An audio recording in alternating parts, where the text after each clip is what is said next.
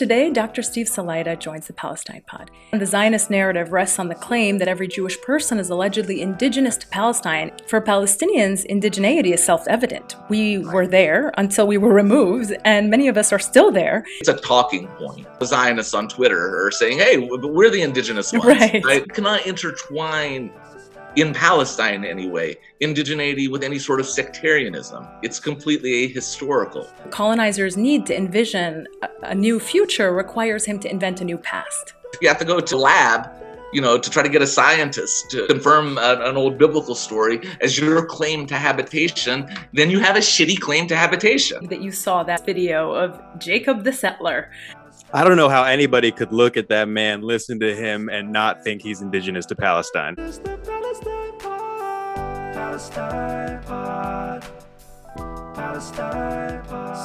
Hello and welcome to episode 10 of the Palestine Pod, the weekly podcast where a Palestinian American lawyer and a Jewish American comedian break down the latest headlines dealing with Palestine and bring you stories, commentary, and interviews with the aim of spreading awareness about the Palestinian struggle for justice and equal rights. I'm one of your hosts, Lara E. You might know me from Instagram as at Gazan Girl, and I'm joined by my co-host Mikey B. What's going on, y'all? Mikey B on TikTok here, Michael Schertzer on Instagram, and Mikey Intifada. If you saw that Settler Jacob video and thought he makes some good points.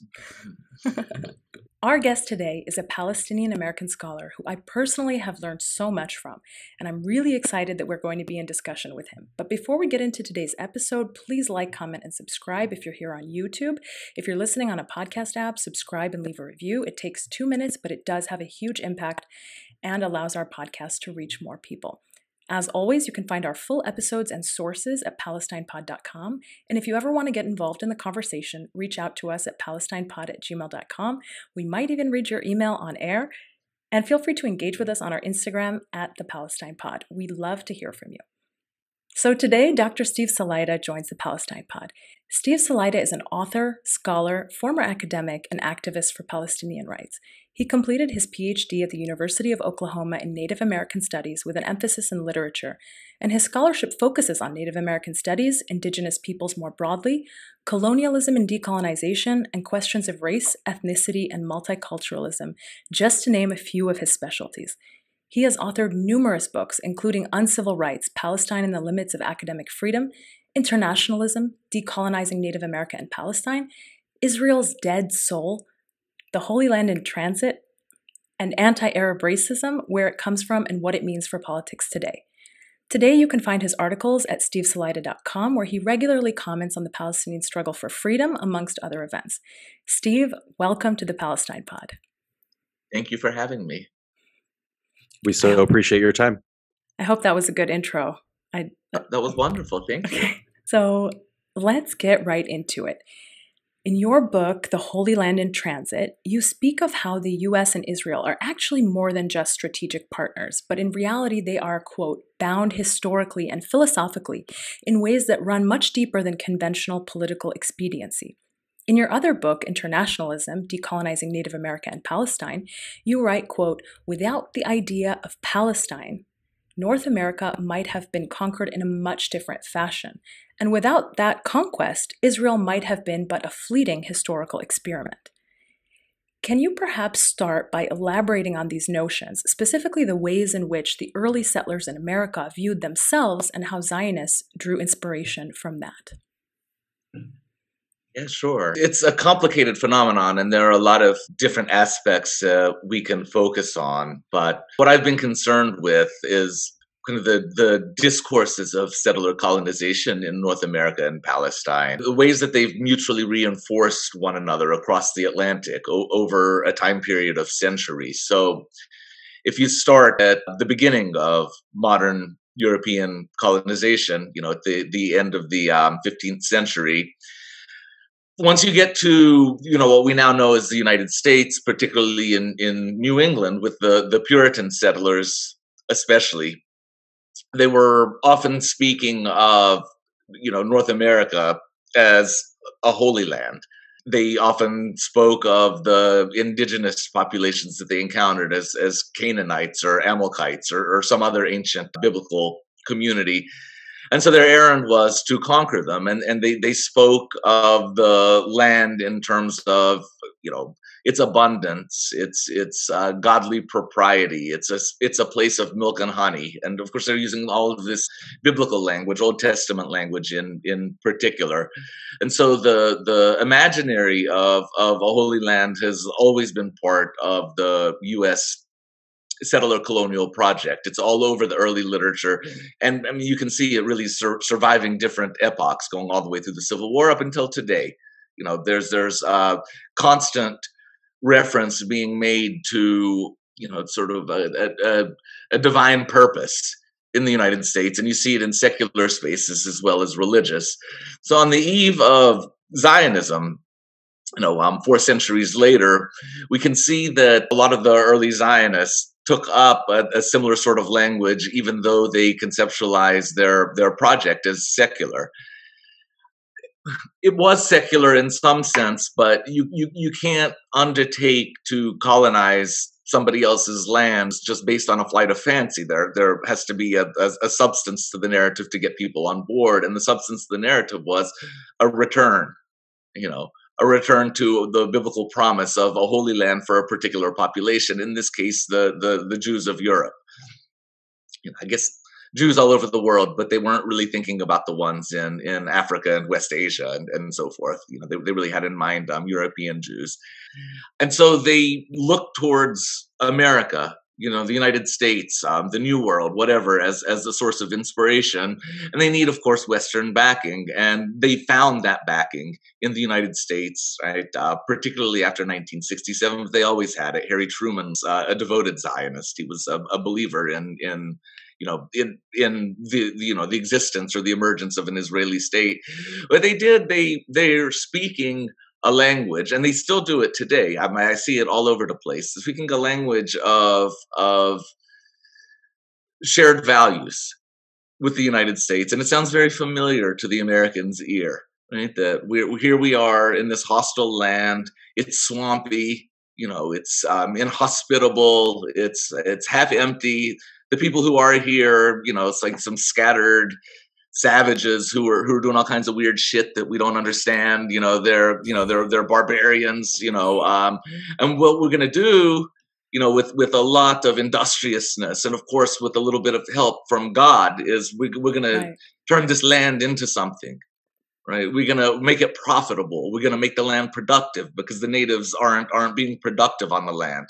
Right, they're they're just letting it sit there and and and do nothing. And you know what what what what's worse for a, you know a settler colonial capitalist than you know a land lying fallow and and and you know not not being developed in such a way as, as to be put into use for you know uh, the project of western capital.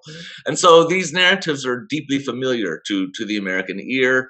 You know they've they've been effective. When politicians you know US politicians talk about shared values between the US and Israel they're not just talking about geopolitical values. They're really talking about the the values the very basis of of each colony's uh, national identity. You know, the, the idea of, of having something do, done something extraordinary, of, of taming a wilderness, of, of building a modern state out of the the wreckage of indigenous uselessness and indifference. So that's that's kind of what I'm getting at. There's a, there's a lot more to it, and I'm talking too much. But um, that's no, you're. I mean, I could listen to you go on. You can no, feel no, free. No, I'll let you go. I'm not going to cut you off. It's at the, the center of the, the notion of of Israeli and U.S. exceptionalism, right? Yes. That they're exceptional in a particular historical framework. Yes. Your answer was so engrossing, I forgot I was on the podcast. oh my god. Yeah, you know, when you study the origins of the Zionist movement, you you you learn that for a brief moment the Zionists were considering plenty of other places for their settler colonial project. We've heard references to Uganda. I, I recently heard Azerbaijan. I didn't know that. Also Madagascar. Um, but I think strategically there was this idea that okay, we'll pick Palestine because of the ability yeah. to capitalize on this religiously infused discourse. And if I'm understanding you correctly, the Zionists were specifically inspired by what they saw in the US. In other words, the idea that settlement, which is driven by religious fanaticism, is in fact very effective uh, at achieving uh, conquest. Absolutely. They were in the early Zionist literature and even some of the early anti-Zionist literature, there's constant reference being made to to the United States and what happened there. Mm-hmm. Not only in, in, with the idea of trying to bring the United States on board as as an ally and as a sponsor right of zionism but mm-hmm. you know in, in in terms of working out some of the you know the philosophical difficulties of taking up a, a foreign settlement project. There, there you know the united states was a, a, a source of of great inspiration there was also, for a brief moment in time, an attempt by certain Zionists to integrate into Palestine. So, for example, Ben Gurion, 20s and 30s, he tried to integrate into the Ottoman system. He even tried to learn Arabic. And this, of course, is not how the story ends because we know that it quickly turned to removal and replacement of the indigenous population as soon as it had the power to do so. But is there anything similar in the history of early settlement in America, or was it conquest from day one? I guess when we speak of the similarities, or, or you know, not just similarities, points of comparison between um, settlement in, in North America and Palestine, it's probably useful to to to acknowledge that there are tons of differences. I mean, the North American landscape is just vast, and and you know, Palestine, you know, even from the river to the sea, as the that grand phrase has it, it's it's still tiny, right? You know, it may from the river to the sea makes it sound much bigger than it than it actually is. It's a sliver of land in the Eastern Mediterranean, and and and so you're going to get um, dynamics in both the past and present that that that simply don't hold to to what happened or what's capable of happening in North America, or really the entire so-called New World, right? Uh, both continents. I. I don't think that besides some scattered diplomatic attempts and some attempts from what you could say more um, you know more more open-minded colonists in, in north america. There was no systemic effort to compromise or, or accommodate or, or to put into practice what in the Palestine context we would call binationalism. That simply didn't exist. There were uh, different attempts, of course. You know, they I mean, they they they signed a bunch of treaties, the U.S. federal government with uh, various native nations, and you know they set different borders. They uh, you know they created reservations. They did all kinds of things. You know, granted special access for certain native nations to to certain landscapes, but there was there was never really a sense of of wanting to coexist right in the in the way that that that, that we see among um, one staters or, or, or binationalists in in in the Palestine context. What did happen in in North America is there were programs of assimilation government sponsored programs of assimilation that were remarkably violent but there was never a sense of uh, or never a systemic desire to incorporate natives as natives right in, into the fabric of, of of mainstream U.S. society. That would happen much later, of course. You know, with the you know the, in the mid-century, at the time of the civil rights movement and so forth. But the general sensibility was, you know, uh, save the man and kill the Indian. Uh, in other contexts and other geographies, it was to slaughter the Indian and other contexts, it was just to get rid of them, and then we don't care what happens to them after that. But uh, you know, there, there, was never from the beginning of Zionism, there was always a, a version of binational Zionism, right? Uh, and you know, there's there's of course uh, right. binationalism isn't associated in any way with Zionism today, right? Like if you're a binationalist, you're not really a Zionist. People aren't really squaring that circle. That was kind of a first half of the 20th century phenomenon. Noam Chomsky was one, for example. But, right. Um, you know that, that I, I, can't think of anything comparable that that was happening in the United States. Something which I think is is striking is the ways that Zionists manipulate notions of time to advance their agenda. So, on the one hand, the Zionist narrative rests on the claim that every Jewish person is allegedly indigenous to Palestine if we just go back to 2,000 years ago. And that this, in fact, somehow entitles any Jewish person from anywhere in the world today to show up in Palestine, receive immediate citizenship, move into a Palestinian home or on Palestinian land, and participate in this ongoing policy to uproot Palestinians from their homes and create this mythical Jewish state for Palestinians, indigeneity is self evident. We right. were there until we were removed, and many of us are still there, even if we're living as internal refugees. So, for example, 80% of Gaza is people who were removed from what became Israel in 1948.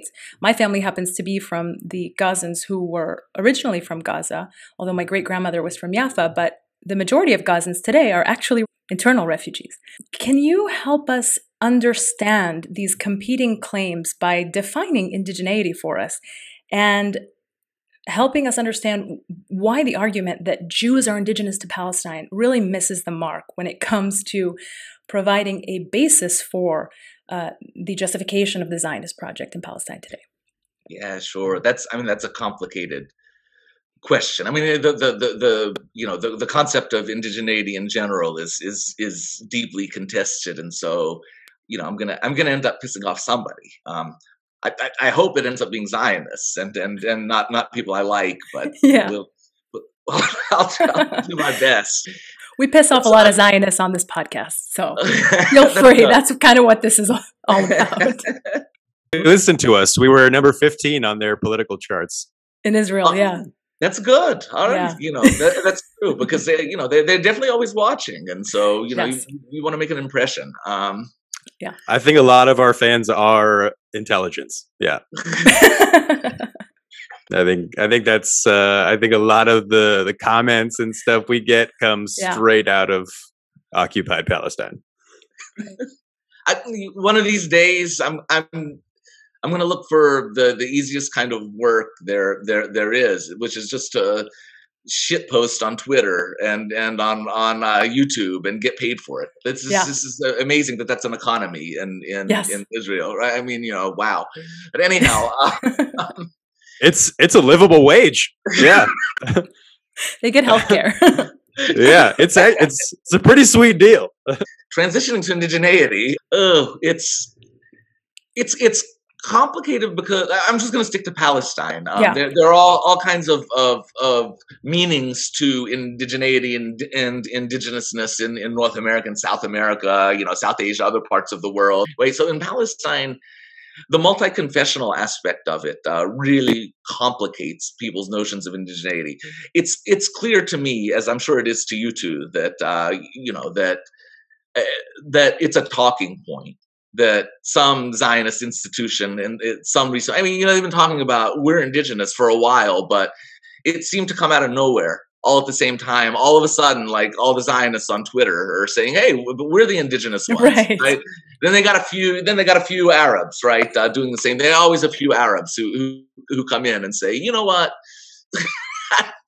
I've just decided, you know, I used to, I used to love Hamas. I used to, I used to be, I used to really be into uh, armed resistance, but I realized that all that stuff is stupid, you know. Right. And what I need to do is move into the future and look yes. to the future and just forget about the past, you know, and make peace, you know, with my Israeli brothers and sisters yes. and, and and quit all this uh, resistance nonsense. So there's always, you know, like two or three of those. Muslim right? Zionists, um, yeah. yeah. Yeah, yeah, yeah, always. You know, yeah. they they they probably getting paid, but I bet they're not getting health care. But anyhow, um, they're Arabs, you know, in the end, they they probably getting right. paid at a sixty percent rate. Right. And, um, um, so it, it, happened, right? Because we've been flooded for what, like the last two, three months with this indigeneity, Jewish yes. indigeneity discourse, and uh, I mean, obviously, it's it's especially especially in the liberal Zionist circles, right? Correct. Yes, they're they're they're definitely trying to attach it to a sort of a leftish. What I, I don't want to use the word woke. if the CIA can use the word woke, so can you for sure.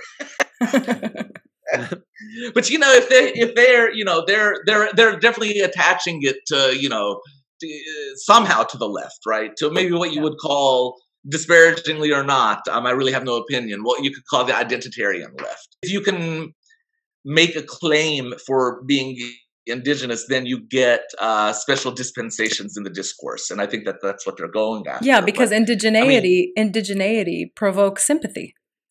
Yes, exactly. Yeah you know, you, are not if you're indigenous, you're not a settler colonizer, right? Exactly. You, you all of a sudden occupy a completely different category, which has moral but implications. Exactly. I mean, as does the term indigeneity itself. It has tons of moral implications, political implications, legal implications, economic implications, especially in the United States, right? We have tribes uh, that are trying to get federal recognition because federal recognition comes with with material benefits that they're seeking anyway it, I like to look at it in, instead of uh, getting mad, which is what I normally do. I, would say that we should take it. Uh, it. People who are Palestinian, who identify as Palestinian, or or people you know who who are interested in Palestine, whatever their their ethnic or religious background, should take it as an opportunity then to to explore our relationship, you know, to the term and and to the history, and to understand really um, what what it is that, that they're trying to say and how it puts our our own claims and our own rights into better focus because that's what it does in the end. We have the opportunity to to to take that discourse, you know, to to analyze it, to put a set of of realistic historical claims to it that completely undermine it and that and that end up um, strengthening our position. First of all, they're imagining to some degree uh, a homogenous Palestinian society that that that that has nothing to do with Judaism and nothing could be further from the truth. So when we're talking about, from our point of view, you know, Palestinian indigeneity, we're not talking about uh, Muslim majority indigeneity, right, or Muslim majority Christian minority indigeneity. We're talking indigeneity in the sense of people who have a biological and cultural history in the land, right, and an and an attendant attachment to that land, and those people have come from all kinds of faith traditions. The majority have been Muslim ever since you know um, the seventh century, but um, they've been Christian, they've been Jewish, they've been Druze, you know, they've been Baha'i, they've they've been atheist, right? You know, they've been people who don't identify who don't identify with religion at all, and so we cannot intertwine in Palestine anyway, indigeneity with any sort of sectarianism. It's completely ahistorical. It doesn't work. It's nonsensical.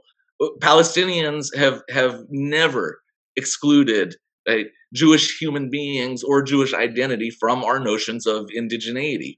There, there has been no attempt to expunge notions of Christianity from from Palestinian indigeneity, and in fact, anybody who has spent any time in in, Pal- in any part of Palestine, not just Jerusalem and, and, and Bethlehem, and, you know, in Gaza, in the Gaza Strip, right? Uh, you know, in, in in the desert, not even in in in in Nasra or the Galilee, you'll see that you know imagery of of Jesus is is such a huge part of Palestinian cultural identity, right?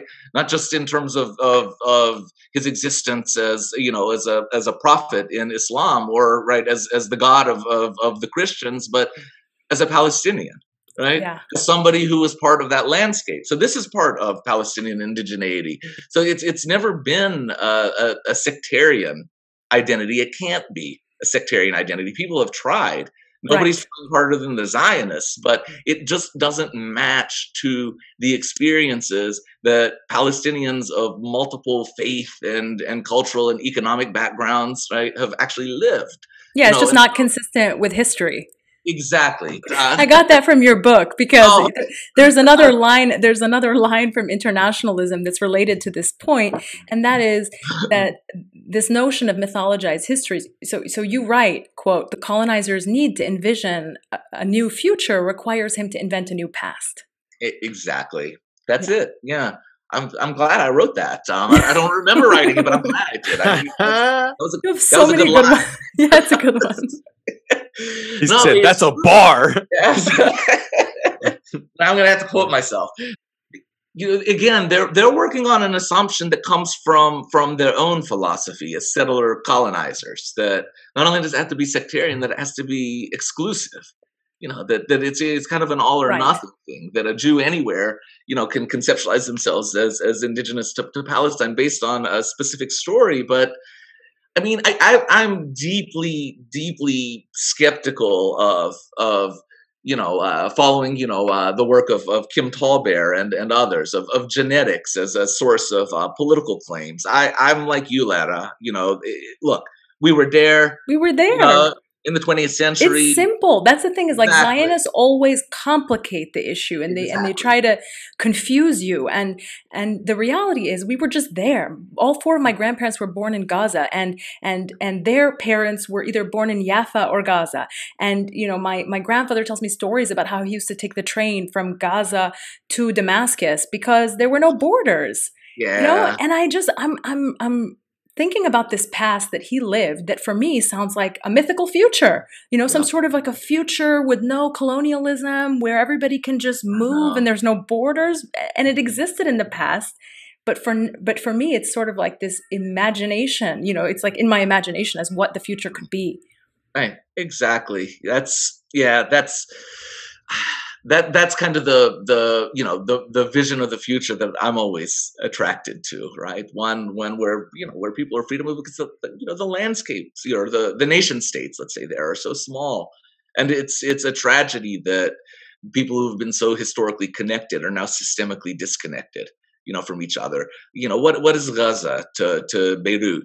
You know what's I don't know, man. I, I have no, I don't know exactly, but what is that? It's like driving from like DC to Philadelphia. I mean, you know, it's it's close. It's it's right there, um, and you know, it's easier to get from Miami to Seattle, you know, than than than it is just to go up the Mediterranean coast. With um, and one thing that that I did want to add, uh, uh, you know, to the conversation, the, if that's okay, about indigeneity is that that again with the you know, with the usual skepticism about, um, you know, genetic claims, you know, or, using genetics as, uh, you know, as a substitute for modern political claims, because something settler colonizers always do. They do it in North America too, right? Like, oh well, you know, the Indians only got here, you know, six thousand years ago, you know, so are they really indigenous? You know, they so they're always, you know, trying to uncover archaeologies that that would sort of uh, deflate, you know, uh, native claims, you know, to to to to their to their land. But anyhow you know, or to their nationhood. But um, the populations of, of of ancient Palestine, you know, in the time period in question, you know, the these, these the Old Testament book of, of Joshua narrative that, that provides the philosophical basis for Zionism,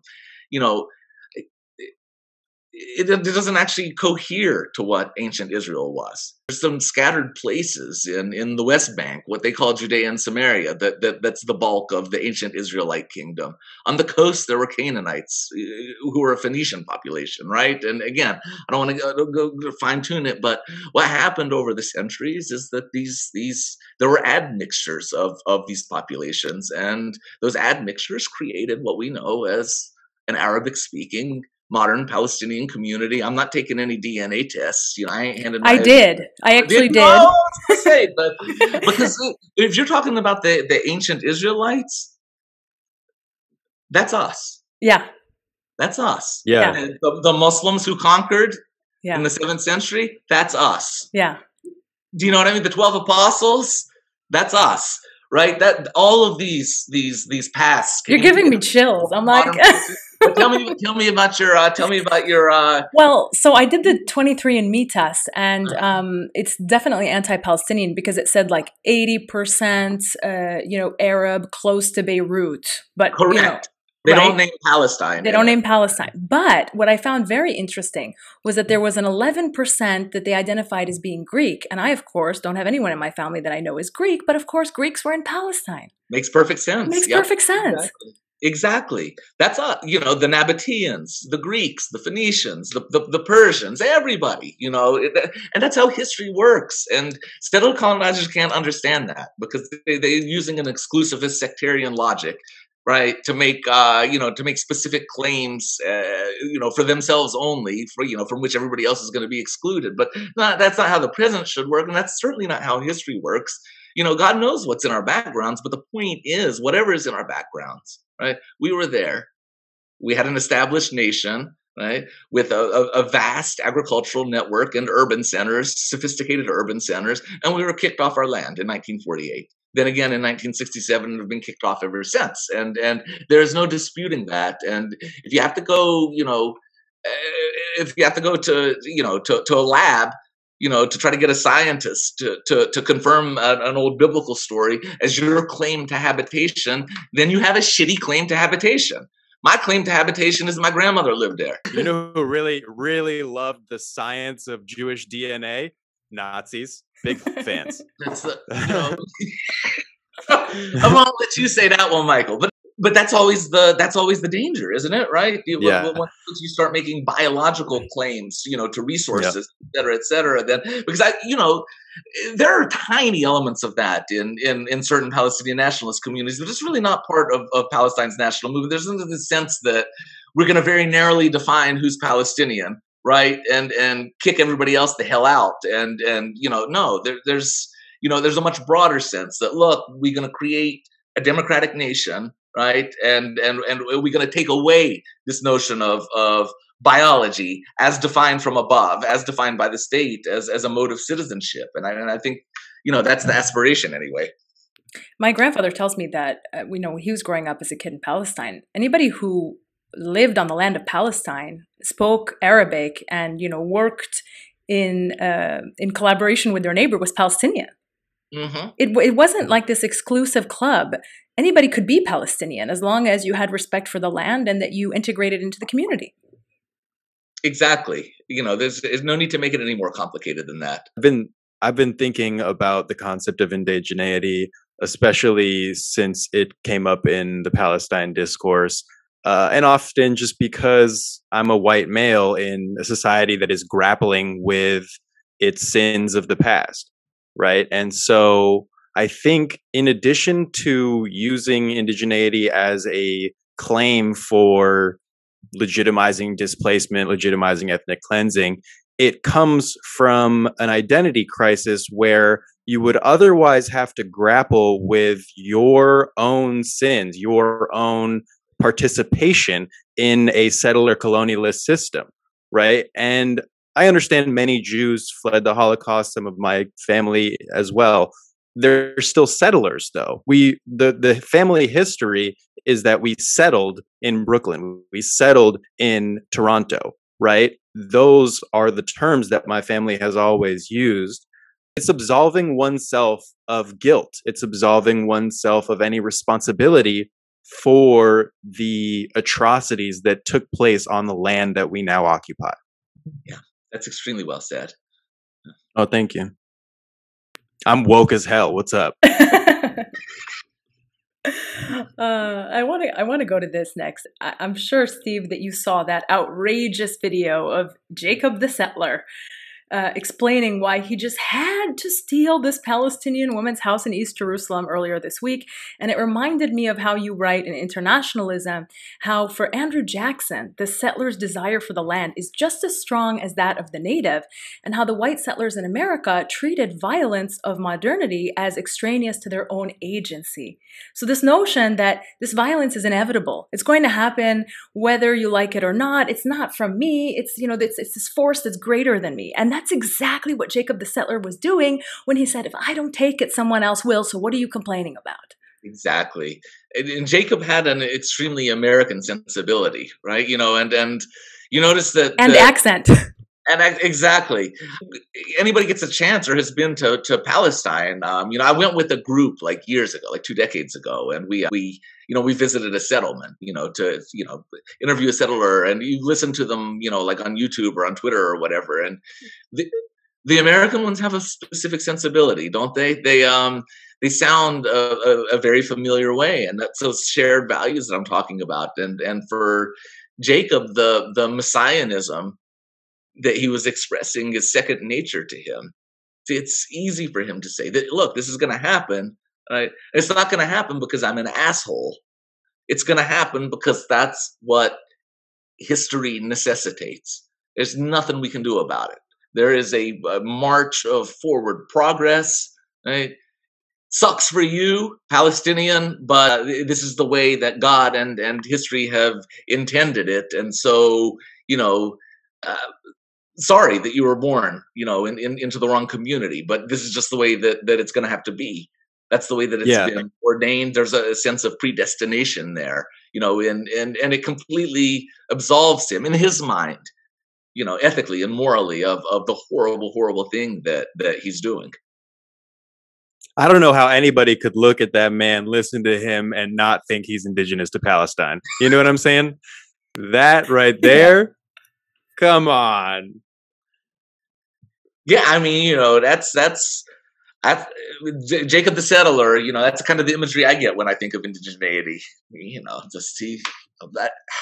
But you know what was Picture. good about the video? There's nothing good about the video, but what was good about the video is that that you know, let's say that you're the that uh, you know the neutral observer of, of legend, right? I, I, don't know if there's such thing as a neutral observer, but we always imagine that there is. How are you not going to empathize with the Palestinian? No, there's absolutely zero that is likable about Jacob the settler. You're going to watch that video and say, you know, that this guy is is is is, is a complete asshole. And if, if I'm even minimally human, I'm going to take the side of the people that he's very clearly abusing in this video that, that he's stealing from right out in the open, and he's doing it brashly, uh, as if he's proud of it. You know, the western frontier used to be like Texas, Kansas, you know, California. Now it's Palestine. Exactly. They, the American frontiersmen have just moved to Palestine to colonize. There was South Africans who lost their, you know, plantations and they converted to Judaism and moved to Palestine to start colonizing the West Bank. And those are some of the most aggressive yep. settlers, right? They walk around with guns, they fire it at people, they terrorize people's lands, etc. Those are the most brazen and disgusting. Not that there's like a great version of a colonizer, you know what I mean? But like they are the most dangerous. Yeah. I loved her response. Response was nobody has to take my house. Wait. Yeah, I'm me. Yeah, I'm me. Yeah. She was even making a joke. Like, bro. I was going to say, dude. like, yeah. Nobody has to take my house, dude. Like, something like that. Yeah, so uh, obviously watching the videos of these Sheikh Jarrah expulsions is really jarring, and I'm always shocked by just the matter of factness of these settlers. Obviously, to me and to anyone with a sense of humanity, stealing someone's house is a great crime. And I mean, I can't even imagine, you know, imagine trying to do it yourself. I mean, how awful, how shameful. How do you even go about it? I don't personally understand how these settlers are, are, are able to live with themselves. But you write in one of your books that in the colonial imagination, ethnic cleansing is not a calamity. Right. Rather, allowing the native to wither in his primordial sensibilities would be the true catastrophe. That's right. You know, your your reaction, you know, is deeply human. You know, to, to the events in in, in Sheikh Jarrah, other people's reactions as well. It's deeply human, deeply humane, because you're not possessed of of a sense of history that excludes every other human being in the world but yourself. And that's what it comes down to. It's at an interpersonal level it's it's a profound form of of narcissism but at a, a political level you how can you do something like what jacob the settler is doing without god can't you can't do it without God. Right. There, there has to be a, a notion of, of theology there that, that's driving that behavior. The notion that not not only do you know you're not doing something bad, but you're actually doing something great, or at the very least something important or necessary. That to allow such a, a backwards culture as as the Palestinians to flourish right or even to allow it any space in the first place is is a kind of sin not just a sin against God, but it's a sin against history. It's a sin against society. Eh, you're not going to make the world any any better by humoring this caliber of person that you know you, you have to you have to push forward and and make progress and and bring history to an end right that we, we can no longer eh, that, that we're on a sort of a forward march right? A, a uh, predestination, and oh, we're going to hit that stopping point, and ugly things are going to happen along the way, but they're not really ugly because the the ending is going to make up for it all. Yeah, the ends justify the means. Can you imagine looking at that dude in a Target white T-shirt and sweatpants and thinking he's going to bring about civilization? Yeah. this this dude is here to civilize me. yeah. You know, we talk a lot about Zionist logic on this podcast, how Zionists invert logic and rationality and then demand acquiescence to their vision of what is logical, even if it defies all notions of acceptable mm-hmm. human behavior, at least in theory. Um, and, and you've also written about this, saying that it's the destiny of all settler colonial states to be fundamentally irrational. And when I read that, I said, wow, he's got Zionist logic in mind. Of course, that was the name of the article that Malcolm X penned uh, following his trip to Palestine, uh, yeah. where he argued that, that Zionism has no rational basis for, for its existence or for the claim to the land of Palestine. Yeah, it's kind of a an, an inverse of, of what we would normally consider logical. So in my writing, I like to play around with the the, the word logical. Yeah. You know, it's, it's supposed to be a good word, but actually, in the in the context of of of you know colonial political systems, um, you know, the, the the logical is also deeply violent. You right. Know, the, the, logical doesn't doesn't follow a, a, what we would consider maybe a humane trajectory. That it's it's a, a deeply self-serving logic, a, a logic of accumulation and a logic of conquest, and so we ought to be wary of what self-proclaimed pragmatists put forward as as logical and we, we should always think really really carefully about these kinds of terminologies it's rational it's logical it's pragmatic it's it, for whom yeah and exactly. what end you know let's let's let's sit with this for a little while and let's think about it for a little while and let's think about who's being excluded and whether their exclusion is purposeful or not it's going to be and what's the desired endpoint here you know so I, i'm always always skeptical or you know or try to be skeptical of of of terms that try to universalize a social or or economic or political phenomenon you know because uh, what's what's you know logical to the zionist certainly isn't going to be logical to to the palestinian and and uh, zionist logic itself really what what, what is it even philosophy as a branch of study is exclusionary right where logic derives from yeah. it comes from the Greeks, you know, ancient, like old, like white property owning males still. The people who were able to access that education would have access to philosophy, logical fallacies, etc. They'd be able to argue in such a way that it creates a buffer, a lawyer force, right? People who uphold the law. And even that is exclusionary, right? Because not everybody has access to law school. Not everybody is going to be a lawyer. Some people are just subject to the law. They are not participating in it. Exactly. Yeah, we, he always makes the, the joke on this podcast that that he's the Jew, but I'm the lawyer. It's his joke, but I It's used a great it. joke. One of the other elements of uh, Zionist colonization of Palestine, which is shared by the US vis a vis its own history, is also this total indifference that the violence and damage and brutality that is caused should be worthy of reparation. That if you take something, you should at least pay for it. And you have written about how your maternal grandmother's home was taken by Zionist forces in Ain Karam um, outside of Jerusalem in 1948, and that she has never been compensated, nor has her loss ever even been acknowledged by Israel. And you also write about how property losses of Palestinians since 1948 can be placed at $146 billion, and that lost income of Palestinians represents more than $300 billion.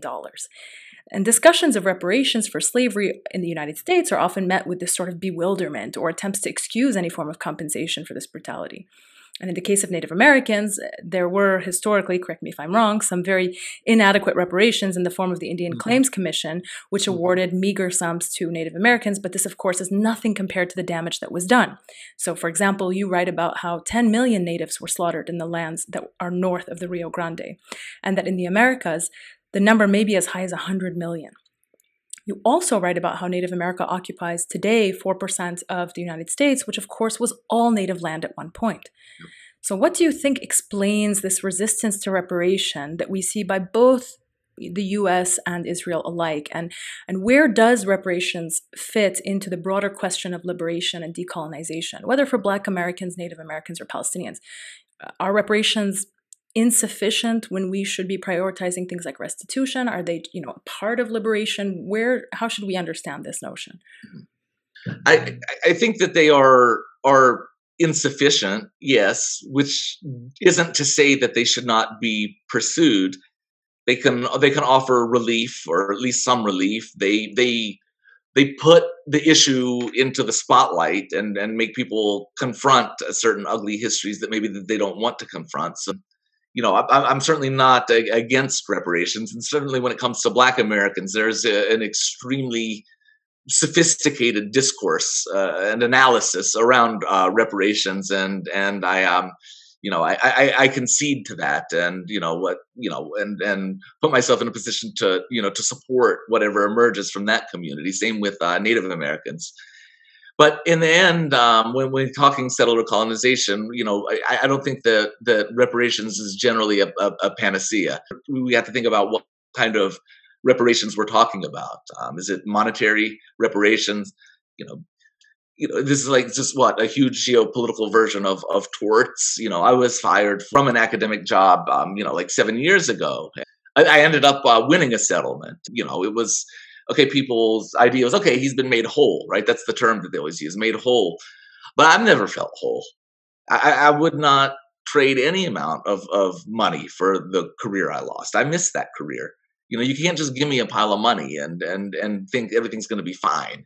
You know, it, it, so that that's what I was thinking about in terms of reparation, in terms of my grandmother, and in terms of others who have, have been displaced. Um, I think also of of you know the the the Lakota, you know, and they've been offered uh, hundreds of millions of dollars you know, after a court in, in 1980, 1981 uh, determined that, uh, you know, that their, their land had been uh, illegally seized by the U.S. federal government. And, you know, for, for four decades now, they've been saying, keep your money. And these are poor communities. They need the money. They're saying, keep the money. We want the land. You know, and so we have to think about reparations in, in terms of, you know, the, in terms of the land, in terms of what they can do for people emotionally and, and psychologically in terms of what they can do for society. Can they actually help lift communities out of uh, widespread poverty? How much money would you need to interject into the Gaza Strip to make it functional economically? I don't know. I don't have the answer, but these are the questions that that we need to to ask. That you know that. And also, we should be, I think, a little bit wary in the Palestinian context of, of reparations, because reparations in the Zionist mentality and Zionist logic means population transfers. You know, the most one of the most violent, adamant Zionists of, of the 20th century, you know, Meir Kahane, you know, and Kahane, by the way, uh, liberal Zionists absolutely detest him, not just for ideological reasons, but because he always, always poked at him, saying, "There's no such thing as Zionism and democracy. You people are deluding yourselves." You know and he was right. You know you people are deluding yourselves. You either want zionism or you want democracy. You can't have both. And they hated him. They hated him for that. But anyway you know we hate him too because you know he's, he's a violent terrorist you know um, an ethnic cleanser. But he always but i appreciate the truth telling the truth telling is definitely good and anything that helps us uh, throw it back into to liberal Zionist faces is, is okay by me. But he was an outspoken advocate of the transfer of the Arabs, the Palestinians, right? He called them Arabs. People would always clutch their pearls. How, how could you suggest such a thing? That's terrible. And he'd say, Whoa, whoa, I'm not just going to kick them out. We should pay them, right? We should give them money. We should pay them for the and he meant it, right? We should pay them for their property. We should give them money, send them to Saudi Arabia, send them to Jordan, send them yeah. wherever the hell. But we're going to pay them. We're not just going to kick them out. We're not monsters. And right. so again, I, I know that's not necessarily what people think of when we say the word reparations, yeah. but there are things that we ought to think about. That, yes. that there are some things about Palestine's national movement that money and property, like physical property, I mean, simply can't solve.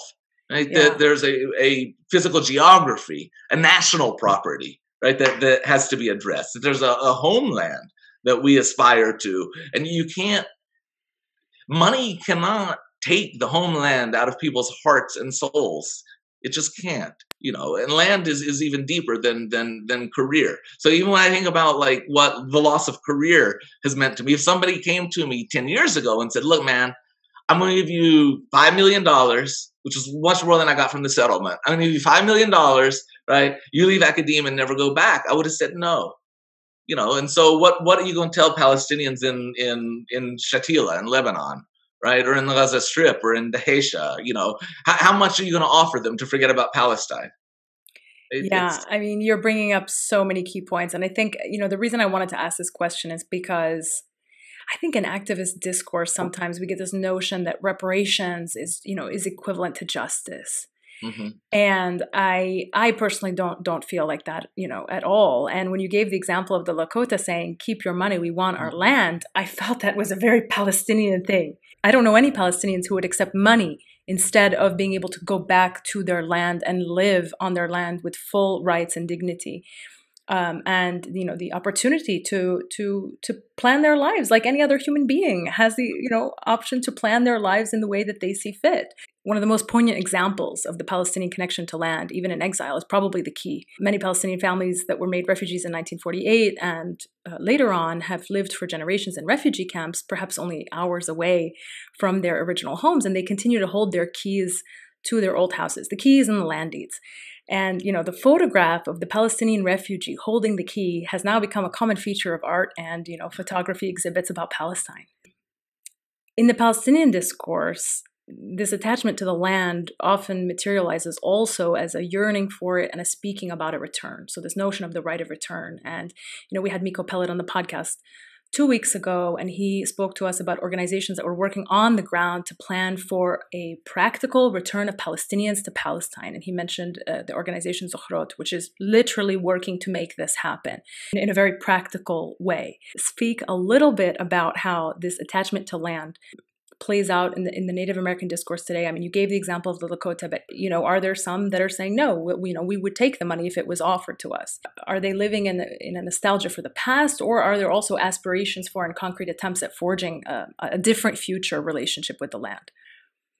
Oh, in in in the native context, it's very often uh, you know what you call practical. No, they they they they want the land back. Uh, the land philosophically and materially is is really the basis of of pretty much all native nationalisms, you know, on the continent that they they're fighting for it back, uh, you know, eh, through legal avenues and in other ways. Um, my colleague uh, Doug Kiel, who who does Native studies at, at Northwestern, has has written a lot about, and it's a fascinating process. He's he's a member of the Oneida tribe of Wisconsin, and he has sort of chronicled how they, you know, they've done a decades long, maybe more than a century long. I, I can't remember. I'm sorry, Doug. Mm-hmm. A, a, process for you know how how they've they've sort of built their traditional land base back, um, and they've done it through a, a variety of economic and and legal means. They bought some of it back. They won some of it back in court, but you know they they cobbled it all together, right? And and you know they're they're they're they're now back in control of a, a, a decent uh, amount of the land that was allocated to them. You know, when they, they were originally in, in what's now New York, and, and and a branch of the Oneida ended up in, in Wisconsin. But anyway, that sort of thing is happening all over the place. So you you you can't really make sense of Native national liberation movements without the concept of an autonomous land base and it's it's my impression that the same pretty much holds in in Palestine or wherever else any any uh, indigenous decolonial movement is afoot that you, you, culture cannot exist right without an autonomous land base that you you know it can but you, you need an autonomous land base for the national community to survive and and, and thrive. It's kind of a, a precondition for for liberation. So I would think that I got to spend some time in, in Lebanon over the past 20 years. And, you know, you, uh, most of, of the Palestinians there um, that, that you'll encounter, the ones in, in the camps and even outside of the camps, will tell you that, you know, getting rights, political rights and economic rights in, in Lebanon, of, of course, is a priority, but it's not the same kind of priority as going back home right? That you know being comfortable where you currently exist of course is important. And of course it's something you, you fight for but the land is more important in in the end. And not just you know the land as as as individual tracts of private property but land on which a nation can exist and on which it can grow. I want to add that i read the cherokee nation has a high propensity of lawyers and a high propensity of casino owners. So it seems like to some degree they have chosen the assimilate and get monetary compensation route. But I'm sure there are parts of the Cherokee Nation who adamantly refuse to participate. Uh, that said, there were a minority of native tribes who owned slaves. The Cherokee was one of them and they managed to pay reparations to the enslaved people and they also gave them citizenship within the Cherokee tribe. So if the Cherokees who were themselves ethnically cleansed can provide reparations, I think it's probably fair to say that the American government can too.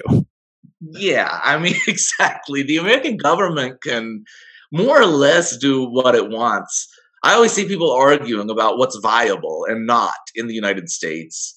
And I always right. roll my eyes. Come on. It's a matter of, of will and desire. This the state, the government is calibrated, you know, towards enriching or further enriching the ruling class. It's not there to serve the people. You know, the people were arguing about trains the other day, like, oh, you know, you couldn't do that in the United States like you could in China. It's like, yes, you could. You could build whatever the you want in in the United States, right? Uh, the United States can put up military bases in like a hundred some different countries. Then the United States could build a high speed railroad track. You know, the United States could provide reparations. The United States could could have provided relief, COVID relief in much much higher monetary numbers than than it did. You know, the, the United States chooses not to chooses to send is, four billion dollars to Israel every year instead. Exactly. The United States is spending all its money on on militarism and imperialism. You know, the United States, you know, they don't care about us. That's what people have to get. And I, this is a tangent. I apologize, but uh, that's Please what people, political consumers need to get through their heads. That your representatives, right, the high level politicians, they don't give a shit about you. I know it's hard to believe. It's taken me years of, of having the evidence beaten over my head over and over and over again for me to acknowledge that because it hurts to acknowledge. It's painful, right? It, and it makes you think about politics differently in, in very difficult ways. But they don't care about you. Makes you view yourself differently. Exactly. Right? Because you see that you've been fooled. When mm-hmm. we talk about what's viable, right? If it's building the empire, that's viable. If exactly. it's take, if it's taking care of anything that needs to get taken care of, well, that's a pie in the sky, is what it is. exactly. Who's going to pay for that? And yeah, you're going to pay for it. I, nobody asked me whether I wanted to pay for for you know Israelis' bombardment of Gaza. You know, uh, and, and it just it's not just that they don't care. It's just it, it's a sensibility. They they the government is not the state let's say the state is not going to pay you reparations because it's the right thing to do. The state ain't going to give you health care because it's the right thing to do. The state ain't going to do shit because it's the right thing to do. You know anything that you get from the state that you manage to extract from the state it's because you developed enough power to make them to force them make to make a concession. But nothing is going to happen out out of a sense of moral obligation right? It's it's a power dynamic and we have none and we can get something from the state right? just like palestinians can get something from the from the zionist state only in relation to to how much power that that that we wield. And right now the balance is very much not, not in our favor. You heard him boys. It's a molotov summer that's a good one um, I want to go back to this this idea that, that you just mentioned uh, when you were speaking about the Palestinians in the refugee camps in, in, in Lebanon. The idea that even if they were to achieve equal rights in Lebanon, that this would not be enough. And you know, I find myself struggling with this often as an activist because when I speak, I am at once calling for decolonization, but also equal rights, but also no to apartheid, but also no to, to, discrimination, but also, you know, settler colonialism is bad. And it's like this mishmash of all these concepts, which are, you know, oppressive in their own way and all interact with one another. But I feel like I'm just, you know, throwing everything, you know, at the board and because I don't want to leave anything out, because I know that it's all important and I don't want to, you know, for example, call only for equal rights at the expense of liberation and decolonization, right? Right? And misrepresent the movement. So you write, for example, about how apartheid and settler colonialism in the Palestine discourse are often referred to as the same thing. And you caution against this because you say that the notion of indigeneity tends to vanish and the political goal for the indigenous gets envisioned as belonging within the nation state rather than as an acknowledgement of their distinct modes of sovereignty and self definition. And it's true that we do hear apartheid and settler colonialism go you know, hand in hand in, in uh, Palestine solidarity. So, can you tell us what is the relationship between apartheid and settler colonialism? Apartheid i mean as a lawyer i know that it's a legal definition. You know it's a crime. It's a crime against humanity. It's been defined as such. And you know recently we've had uh, the benefit of, of, of several reports have, which have come out and confirmed what we have all known for decades. You know, earlier this year we had the B'Tselem report, which confirmed that Israel was guilty of the crime of apartheid. And just a few weeks ago, we had the Human Rights Watch report, of course, which confirmed the same thing. This, of course, is extremely obvious to anyone who's paying attention and, you know, Palestinians who have been saying it for decades. But even if you're part of the mainstream discourse, Jimmy Carter said it in 2006. So it's a little, you know, too little too late. But um, but yeah, can you help clarify these concepts for us and, and, and, and give us an idea of how we as activists should be calling for the liberation of Palestine? Sure. Really quickly, Laura is the type of person to ask a question and then define the answer for you. no, I didn't define it. I said I don't have a definition. no, I asked about the relationship. I asked about the relationship. It's a oh, joke. Go ahead. Go oh, ahead. With your lawyer ass, your lawyerly lawyer lawyer. I, I, actually wish, Lara, that you had defined it because I, I honestly don't have a good definition of apartheid. We, we know it from the South African context, as you said, but um, you know, it, it's it's more complicated, I guess, than people see. But in terms of how the, the word connotes in everyday political discourse, right? We just, we kind of think of, of apartheid not in its in that specific legal dimension, but we just we, we we see it as segregation, formalized segregation, akin to Jim Crow. So what's happening in in Palestine is is it's it's like Jim Crow, the Jim Crow South in the U.S. It's like apartheid. It's not identical to either. You know, there there are significant differences, but conceptually I, think that's what people are getting at when when they use apartheid. I know human rights watch and other groups are are and amnesty and others are concerned with the legal definition as, as they should be. But um, in everyday usage in non-professional usage i think people use apartheid really as, as synonymous with segregation with with formal segregation or with legal segregation. You know one, one group's getting a, a set of rights that the other group is not getting, or even at the expense of, of another group. And I think that's how most people understand the term. And it, you know, in turn, thinking of of you know what what we can do as activists, you know, vis-a-vis terms like apartheid and settler colonization, you know, we, we can think of what what an equally vexing term means, equal rights. So what happens if the 1948 Palestinians, you know, the ones with Israeli papers, get a set of rights that that are, you know, that the Palestinians in the West Bank or in East Jerusalem don't have? Then, of course, what if the they get a set of rights in the West Bank that doesn't attend to the Palestinians, you know, in Lebanon, right? Who have no rights whatsoever anywhere, and so it, it gets complicated. But I like to put the the land base into the center of the equation and and what we want more than anything because the complexities can be worked out afterwards is a return to the land and a right to exist on the land as equal citizens not at anybody else's expense right?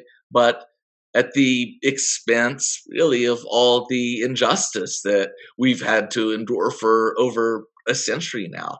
That's that's what we want in the end. People, like Zionists, will come at the notion of the right of return, and a lot of Arabs, you know, pragmatic Arabs, will say, bah, you know, the Palestinians ain't going anywhere. The Palestinians in Jordan, you know, they have citizenship.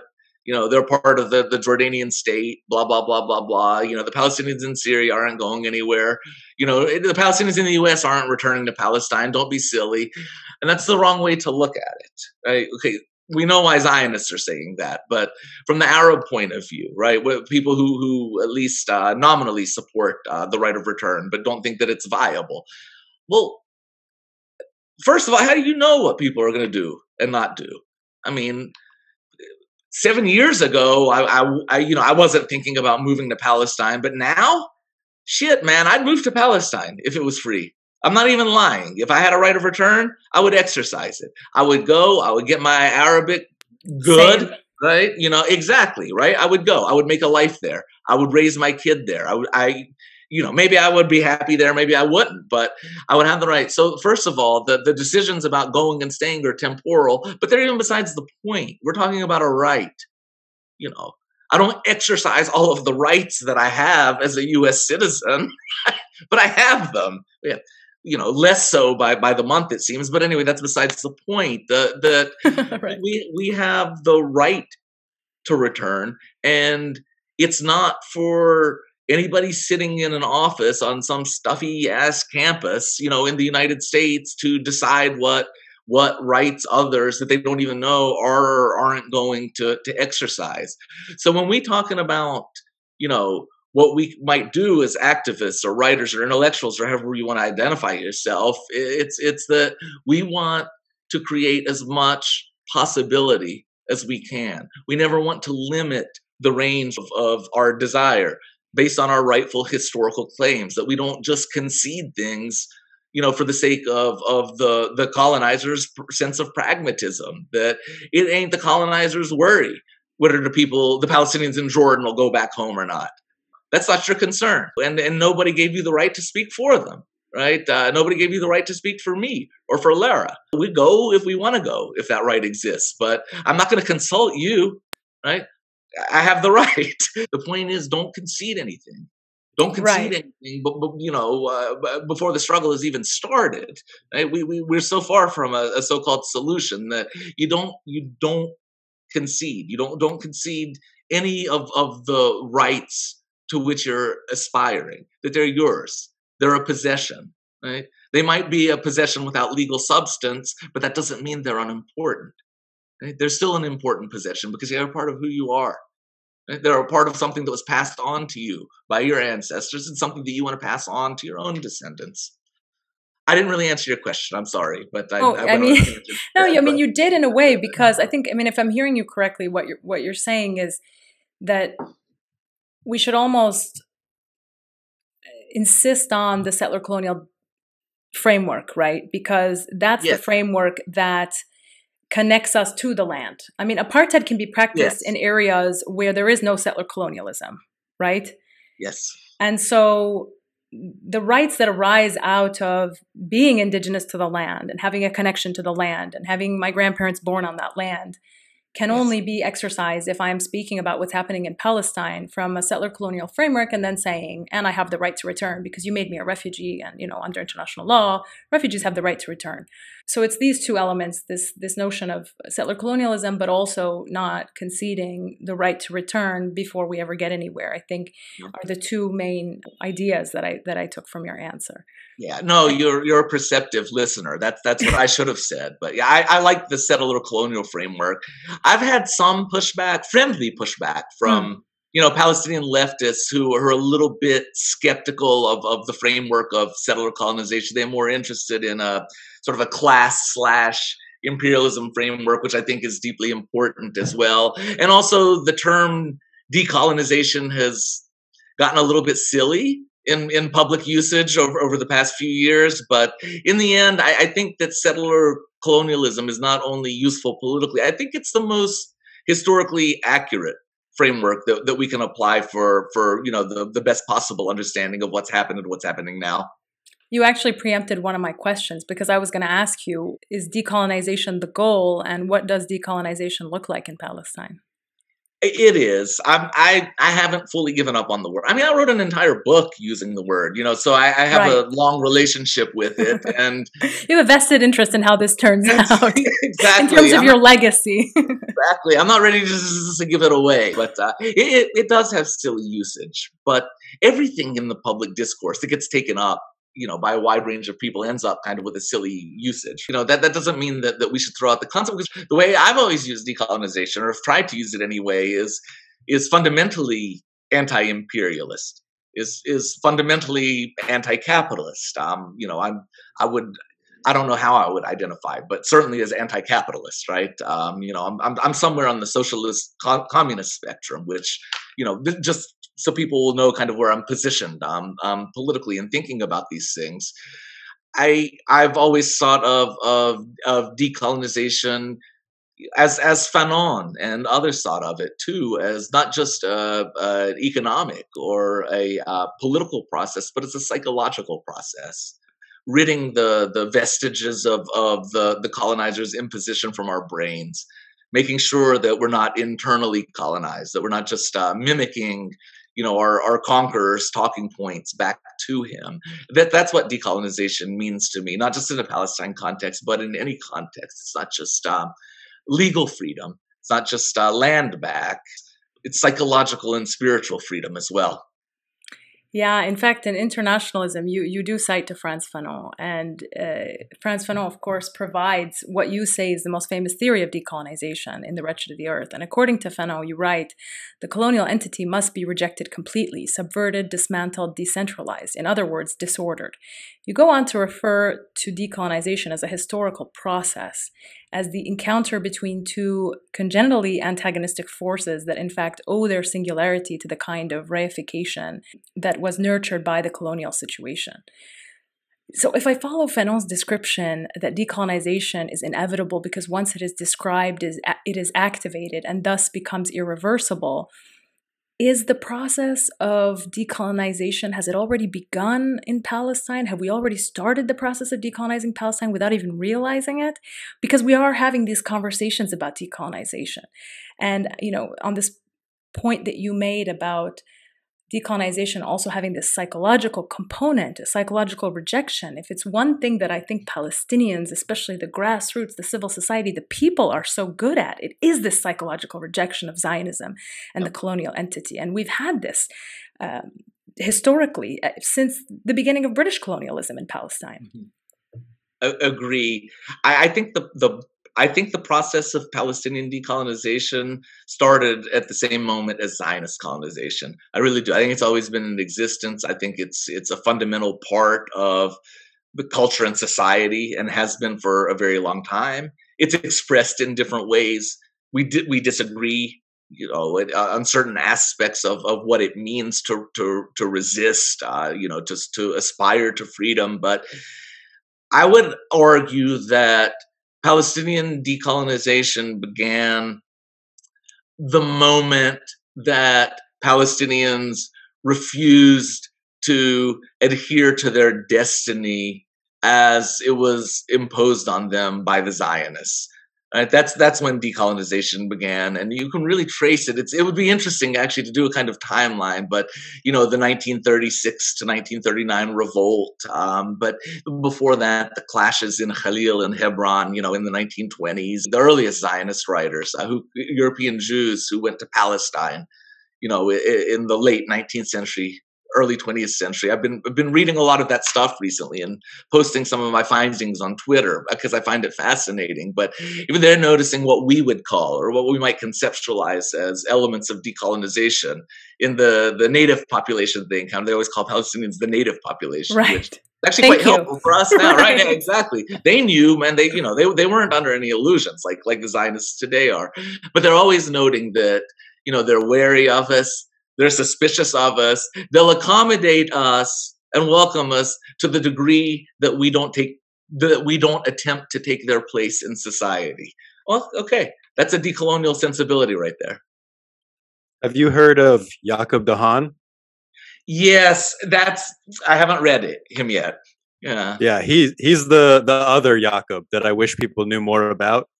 Uh, because he went to settle in Palestine from the Netherlands and spoke about it as Palestine, talked about how his life would be totally different mm-hmm. because mm-hmm. he was a well established poet in the Netherlands and he was going to be working on a farm in Palestine. He also went to speak out against the establishment of a Zionist state, but was assassinated by the mm-hmm. Haganah outside of his place of worship in Jerusalem. Wow. Is native support for Palestine a new phenomenon? Or do we see examples of it going back, you know, 70, 80, 100 years ago to the beginning of Palestinian resistance against British and Zionist colonization? And can you provide some examples? People like Nick Estes and, and Melanie Yazzie and others, the research much more carefully than I have since I'd last published my book. I'm not really familiar with the literature pre 1960. So I'm, I'm familiar with what happens in the 1960s and beyond. But there are a lot of Christians in Native communities who who who who believe in the idea of you know. Uh, Israel's special place in, in the Holy Land, right? You see that in, in different Christian, particularly Protestant communities around the world. And so you're going to get a mixed reaction from natives about Palestine. But I will say that those who are politically conscious in a in a certain way, those who have have uh, taken up a certain understanding of of settler colonization and resistance to settler colonization generally tend to be sympathetic to Palestinians. I've met a lot of natives over the years um, that didn't really know much about Palestine one way or the other. They they defaulted to what could be called a pro-Israel position simply simply because of, of religion or simply because it was the mainstream position and they didn't know anything else. And I've had the opportunity to sort of explain some of Palestine's history to them, and they've turned around their thinking and said, "Oh, you know, I, I had no idea that that happened. That's messed up. You know, count me in." And and so it depends really on who you're talking to. Yeah. Where you're speaking with them. Let's say in, in the spaces that I've been familiar with in you know the the past 20 years of my life, uh, academic activist spaces, that there's a pretty strong commitment to to you know to Palestinian liberation. They're natives. I have taken delegations to to Palestine and have uh, written beautifully about it, about their experiences there, and their the connections between the US as a settler colonial state and Israel as a settler colonial state are really, really difficult to overlook or forget about once you start putting their their their statements side by side. If Zionist mythologies are sound deeply familiar to the American ear, right, they also sound deeply familiar in a different way to the Native Americans' ear. Yeah, exactly. I mean, I, I just think about how so much of our national identity, our culture eh, has really, over the decades, become sort of synonymous with resistance. Mm-hmm. And so I think if Native people start to learn about Palestinian culture, then they will immediately see something that is shared and common. You know, so many of our folkloric songs, our poetry, our literature, it's about exile, it's about identity, it's about freedom and dignity and land and humanity and these big ideas which then become sort of synonymous with Palestinianness. And so I think that's something that could resonate with Native communities because you know for them it's it's it's a lot of the same ideas that show up you see that with palestine all over the indigenous world or the global south and yeah. that's one of the, the most fascinating things about palestine to me that you know, people always wonder why do people care so much about Palestine? And I don't know, there are a million different answers. You know, you could say maybe the whole Holy Land mythos, et cetera, et cetera. But at the same time, because Palestine has always been, you know, a, a deeply feeling fundamental feature of liberation movements the world over and wherever you find people who are interested in, in national liberation or in indigenous liberation then then you're going to find a consciousness about palestine. One that that I, I you know i think it's important for palestinians to reciprocate. Yes Absolutely. So, in your book, Internationalism, you explore the concepts of settler colonialism and indigeneity and state violence through the lenses of the Palestinian and Native American experiences. And in doing so, you articulate this theory of internationalism, which you write demands commitment to mutual liberation based on the proposition that colonial power must be rendered diffuse across multiple hemispheres through reciprocal struggle. You also write that the age of transnational humanities has arrived no longer can scholars demarcate territories of intellectual pursuit based on the self contained logic of linear group identity. So, for our listeners who may be new to this idea, why is internationalism essential for every scholar or activist working on the issue of Palestinian liberation, and what does it look like in practice? Yeah. It's, it's a variation of the old uh, Marxist notion of, of internationalism that we, we have class interests that that are transnational and that we we can and should connect around them. It was, it was taken up by a lot of the third world or global south liberation movements, you know, throughout the 20th century that then the way I'm using it is, is, is specifically in regard to indigenous communities, communities that are suffering ongoing forms of settler colonization. That's a category in which Palestinians and natives both fit. And what I'm, I'm trying to urge people to to look at is the way that the colonial power itself is transnational.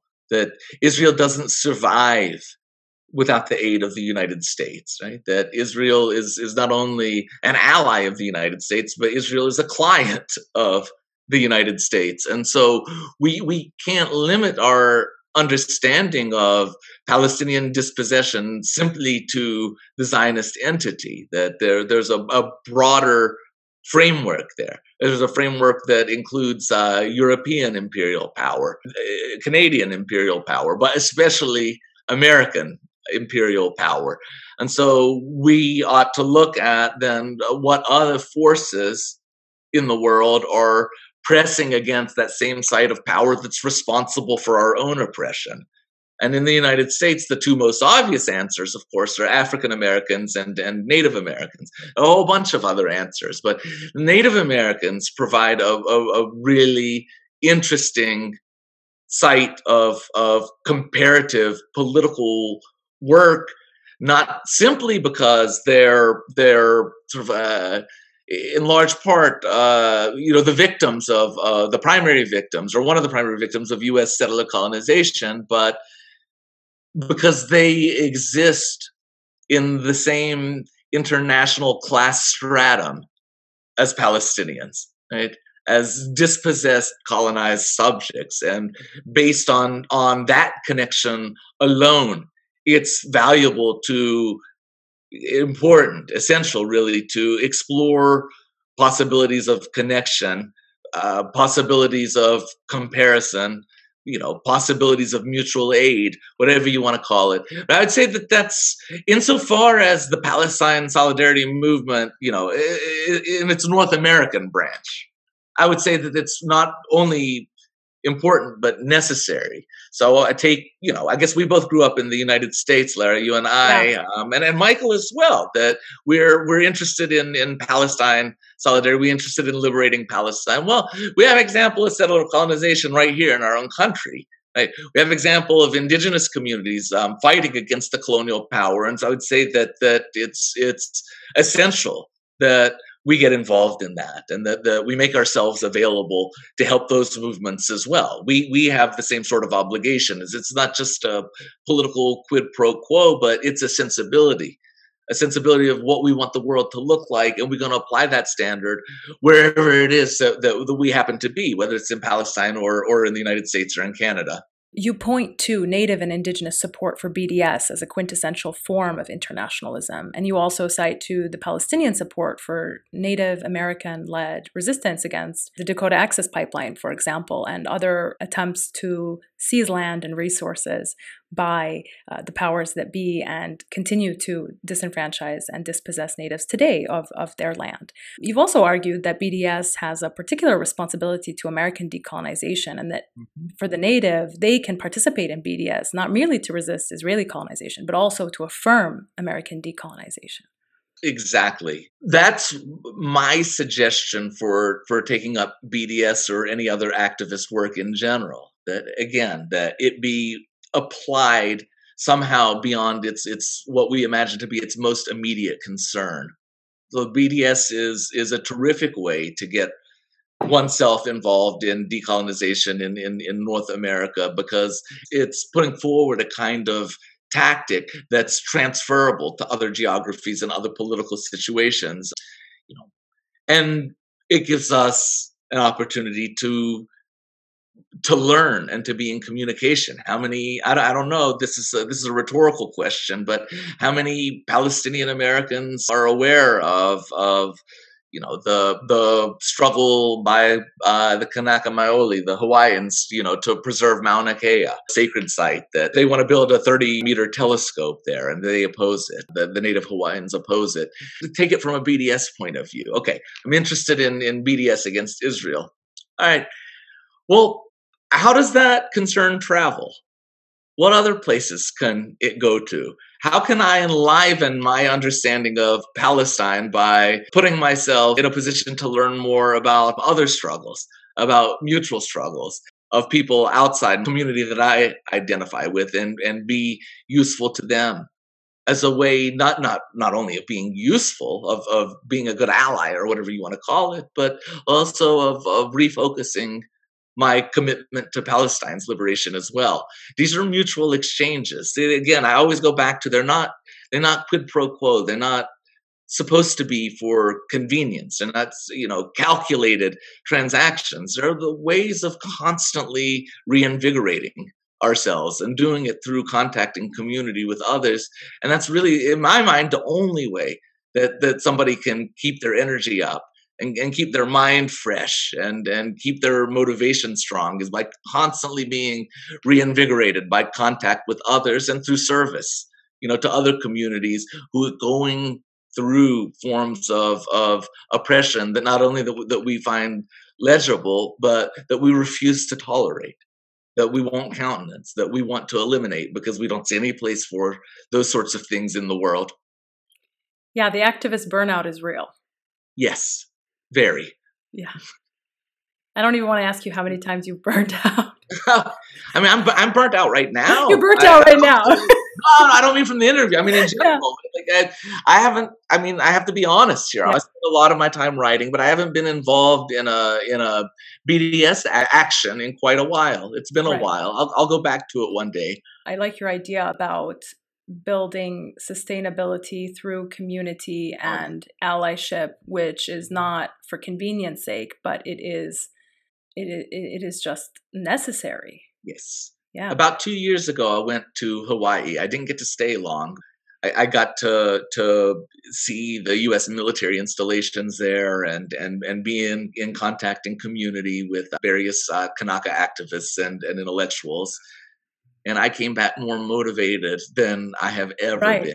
Just it was like wow, you know, Hawaii is in my heart, it's in my head, and now I just I want to just do work. Do you know what I mean? And and and that's what I'm talking yeah. about. You know, and when when people get, it. but it happens both ways too. Like how many people do we know who've gone to Palestine on yes. a delegation, right? And they come back and they're like, "Damn, you know, yes. let's get to it." Right? That's that's the wonderful thing. So, in internationalism, you also speak about the devastating impact of Israel's neoliberal policies outside of Palestine. And I think this is something that we don't often talk about when we're doing strictly Palestinian solidarity work. We might talk about it if we're engaged in broader conversations on empire and neoliberalism and, you know, these sorts of ideologies. So, in the book, I think you mention uh, the state's contribution to repression and genocide of the indigenous peoples in Guatemala and El Salvador in the 1980s. And in last week's episode, we touched on how Israel provided weapons and training to Mexico in the. But uh, can you speak a little bit about the ways in which Israel's repressive policies extend beyond the borders of Palestine? I'm glad you brought that up. That's yeah. an important point. I mean, first of all, the yes, Zionism is primarily a, a, Palestinian concern. Palestinians have been its primary victims, etc. But. I, it it always makes me a little bit sad to to see you know that it gets exclusivized to to Palestinians. Right? I always thought of Zionism really as an as an Arab concern you know, and, and I hope it remains that way, especially with all the normalization efforts that that are going on. But I never want, um, you know, Israel and Zionism, you know, just just to be limited to Palestinians because it's affected the entire region. It's affected more than two continents, and so immediately, of course, Lebanon and Syria. Israel is, is, has been bombing Syria regularly for, for some years now. So Israel is engages in acts of, of aggression against all of its neighbors. It's not just um, the the Palestinians, although it's primarily the Palestinians. So there's that. That's that's one way in which you know it, it, it moves beyond its its own immediate borders. But I, I like the example that you brought up of Central America and Mexico. That I would uh, advise or urge your readers to look up uh, Guatemala, especially, and General Rios Montt. Um, that's M O N T T. Give him a Google and Google Israel and Ariel Sharon along with him, and you're going to find some extremely ugly stuff that not only did Israel help fund genocide against indigenous Guatemalans in the 1980s and 1990s, but Israel helped provide logistical support Israel provided training. You know, you, you could say that Israel was just as responsible for that genocide as the Guatemalan government, the United States as well, of course. Israel similarly intervened in El Salvador during the same period. So in Central America in the 80s and 90s, really for longer. Uh, in Nicaragua as well, there were uh, a bunch of civil wars and, and conflicts. The United States was knee deep into it because our communist rebels, in some cases, were beginning to win power. And, and so it was an important uh, side of the Cold War. Reagan was obsessed with uh, Central America, and uh, Israel ended up uh, lending a tremendous hand to the United States. And it's not just in, in Central America during the Cold War. There's an old book by Benjamin Beit Hallahmi called Who Israel Funds and Why. He was an old Israeli a psychiatrist. It's it's a great old book. It was it's old now, probably 30, 35 years old. I don't know if it's been updated since then, but you know it's it's eye opening but wherever basically the the general rule of thumb and it almost always holds is that if there is a force of reaction somewhere in the world right, that is is in conflict with a force of of progressiveness, right, then you can almost be assured that Israel is going to be somehow on the side of reaction. Right? That it's going to be funding it or that it's going to be philosophically supportive of it. Wherever wherever there's there's a movement towards socialism or, or towards equality, or towards some kind of political system, right? That's going to take uh, resources out of the hands of the ruling class and give it to the people. And then the people are going to be able to make their own decisions. You can bet your ass that the United States is going to be against it, right? And what the United States is against, Israel is going to be against as well. And, you know, for people who think that Israel is useless to the United States, do some research on, on how often Israel helps carry the US's dirty water in these sorts of interventions. Right? The Mossad does a lot of this work. Uh, the IDF does a lot of this work, and so it's it's not just the United States. It's the United States and its client states, you know, that that engage in in imperialism. So that's that's kind of the the the general metric that that I use. If is if is a group running afoul of U.S. imperial designs, then I just wanted to add that in the book, you provide the example of the chief of staff of the Guatemalan army in the 1980s, who said that the Israeli soldier was the example for the Guatemalan soldier. And in 1982, the president of Guatemala said that the success of the army was due to the fact that the Guatemalan army was trained by Israel. Exactly. Yep, the evidence is there. I mean, Montt got got uh, got convicted of, of war crimes, so all of the all of the documents are freely available on the internet, and and it's extremely ugly reading. All right. Well, we can't end on that. Jesus Christ. We got to do something else.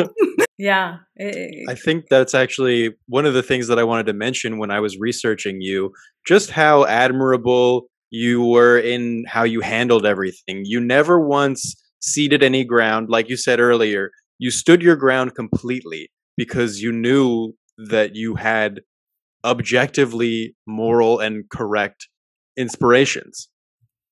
And so I just wanted to ask because you went through such a tumultuous event, sort of these are the type of events that reveal who people can truly count on, right? They push you to be a better version of yourself. And so, what would you say was the most valuable lesson that you learned from going up against the Zionist lobby? And was there anybody in your life who surprised you with their reaction? Okay, well, that that second question is good. I'm gonna have to think on that for a second. No, honestly, nobody comes to mind immediately. Um, but maybe in a second. Maybe I'll. Michael's to trying to turn this podcast into a gossip column. what? I mean, I don't blame him. That that, that make, makes tell us something. Tell us something juicy. Yeah. I'll, I'll, I'll, try to dish. Uh, you might as well have like just asked me to to go on a tangent that that's never going to end because I have a, a lot of thoughts about that. That please.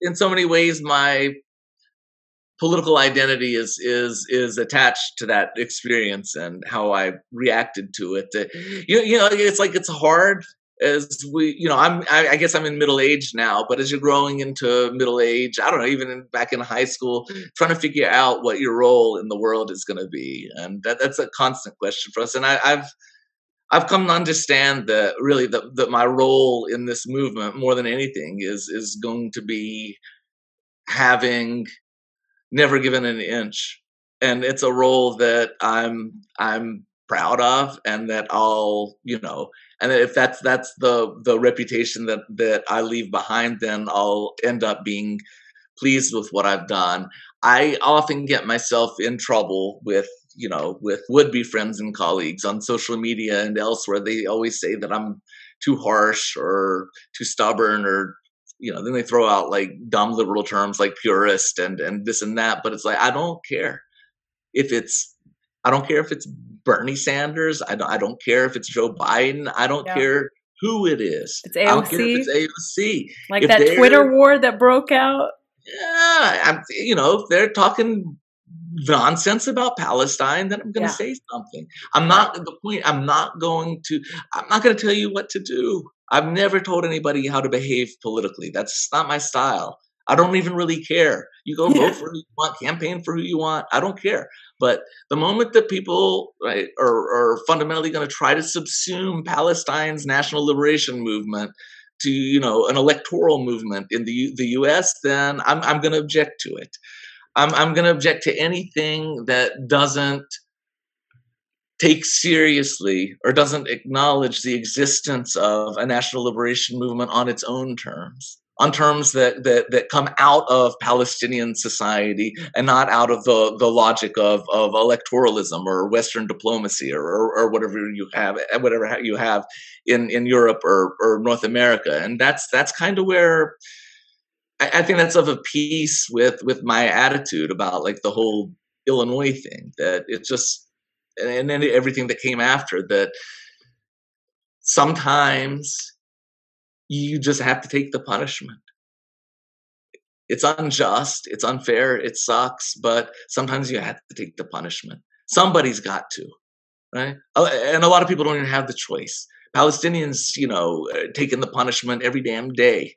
You know, they can't opt out you know so I, I, I don't find it convincing i just don't again i'm not trying to argue with people or be purist but when when somebody make an excuse for a politician by saying well they they need to do it to get reelected well why should their reelection be our concern that's my whole point i understand you know i understand that they're i understand why they're doing what they're doing i understand the motivation i simply don't accept it you know I, I don't accept AOC becoming a bumbling liberal Zionist because she has to worry about Nancy Pelosi. Right. I don't have to worry about Nancy Pelosi. Right.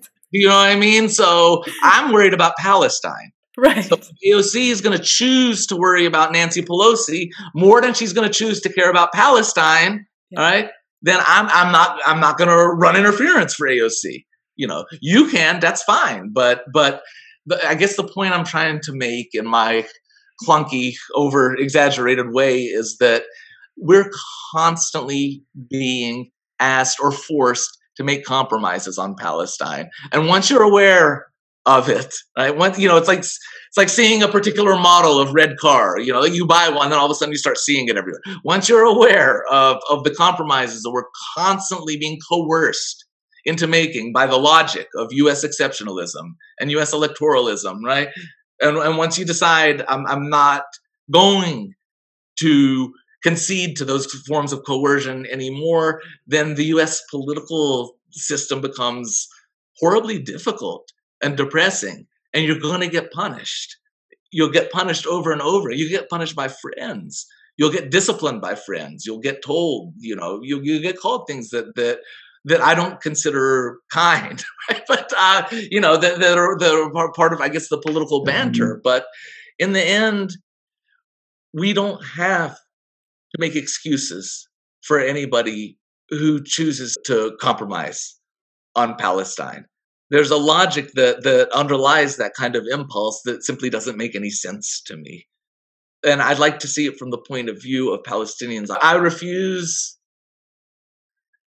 to say anything in front of somebody in the United States that I wouldn't also be comfortable saying to somebody in the Gaza Strip, right? If if I wouldn't say it to somebody in Gaza, I ain't saying it in front of you on Twitter, right? So you know, take it or leave it. But in, in the end, it's all a matter of, of of where your ultimate devotion is. Is it to to the Palestinian people? Is it to the national liberation movement, or, are you interested in in in pleasing a bunch of uh, functionaries and, and bureaucrats in the United States?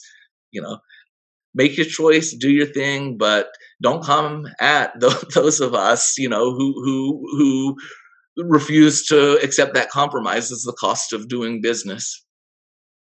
And not only do the Zionists not cede in their arguments or their land offers, they gobble up more land and they populate the internet with false narratives to distort the truth. Exactly. So they they are not ceding and neither should we. that's exactly right.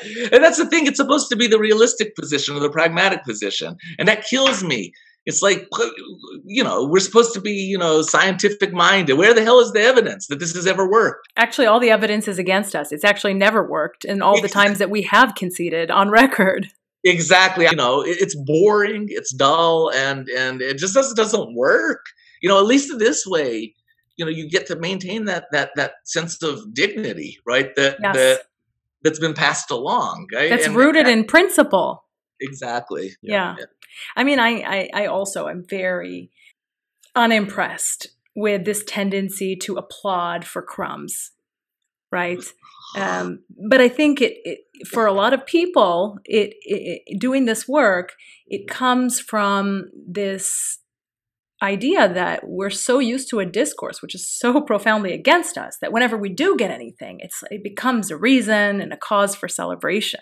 And i mean i i'm even guilty of it sometimes too. We had an episode a couple of weeks ago talking about the hr 2590 the new bill that was proposed by mm-hmm. representative betty mccollum. And here i am talking about how you know it's a monumental bill but it's like on whose terms? Yeah it might be monumental from the perspective of the imperialist expansionist united states but it's not going to liberate palestine Right.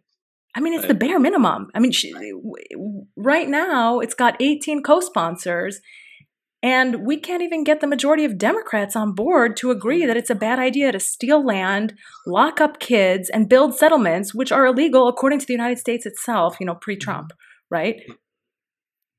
I mean, this is what we're celebrating, you know, know. but I, but I'm also guilty. I have to be critical of myself because I want to be like you're saying. I want to be rooted in principle only, and I don't want to applaud for crumbs, and I don't want to make excuses for AOC. You know, that was the impulse of some of the Palestinian activists who, in response to her, you know, bumbling word salad, came out and said, "Here's the laundry list of all the great things she's done for Palestine." Where's your dignity? Yeah. And they also left off that she voted yes on the extra $500 million to go to Israel during the pandemic. They, they were like, we judge her based on her actions, and she has co-sponsored this bill that will likely die in committee. But she did vote yes on yeah. extra aid for Israel. And that's why she's a fan of the Palestinian. That's why she is a proponent of Palestinian yeah. justice. And I was like, mm, yeah, that's got to be that's got to be yucky to type out. it was like it was like a tweet thread, Michael. I'll have to send it to you. I saw it. No, it I saw not, it. Okay, yeah, it was not good.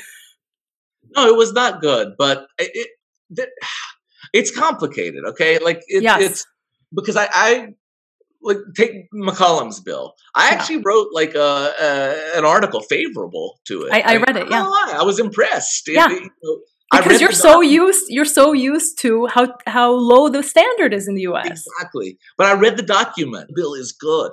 Like yes. you know, it's of course it's not going to liberate Palestine. Let's let's let's be real here, right? But as a, as a document that exists in the context of the U.S. government, she did a good job with it. Yes. Right? She put her more leftist colleagues to shame. Right? There's nobody like Betty McCollum who is is putting forward that language on Palestine, and I think the squad and everybody else ought to be embarrassed. Yeah, I mean, you know, I think the bill uses terms right, like colonialism. Yeah. He uses terms like apartheid. He uses strong terms. You know, a lot of activists, you know, uh, lawyers, etc., you know, uh, worked hard to get to that point. And yes. I want to, you know, I want to acknowledge and, and honor their labor, labor there. You know, they, they did a lot of great work pushing it. Do I think that, that anything is going to come of it? No, but not now maybe later. I don't know. But the point is, I'm, I'm not going to crap all over their efforts. I'm going to applaud and say, "Good job." You know, uh, that that's admirable work that you've done. Mm-hmm. And it, it's and I don't want to give people the impression that, that, that I think we should just constantly be recalcitrant. I don't think that's useful. Right. That's healthy. Um, we, we we can celebrate all kinds of things, big and small. But I guess what bothers me is that there's a structure and a system of rewards that comes along with making those compromises that people seem attracted to. And part of the process always seems to be doing it by stepping on the necks of those who are to your left in the Palestine Solidarity Movement.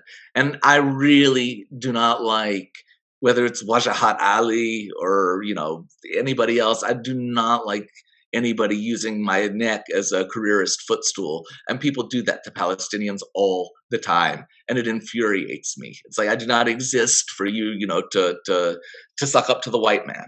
Find somebody else for that. In fact, find an entirely different people for that. Just leave Palestinians out of it, and and th- that's something that infuriates me. And there's this impulse also that, that goes along with all of the accommodation that they make for U.S. exceptionalism to happily collect the rewards that, that come along with certain forms of, of acquiescence, and that's I, that's generally where I, I draw the line. Like I said, somebody's going to be punished. You know, you don't need to go around chasing rewards. Some people said, "Keep the land. I'll take the money."